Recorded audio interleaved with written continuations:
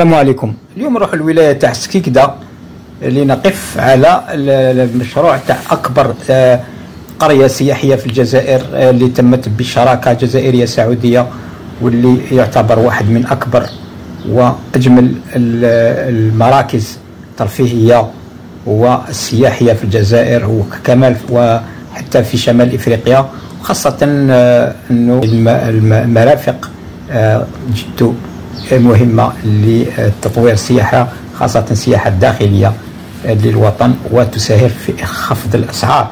يعني سوف أكيد آه، يعني يأثر على الأسعار اللي تهبط شوية.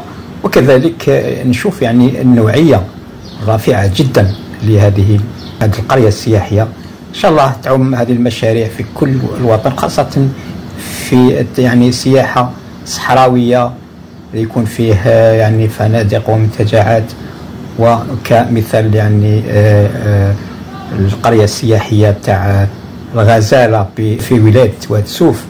اذا إن شاء الله يكون فيه مشاريع بهذا النوع في كل آه، التراب الوطني. السلام عليكم.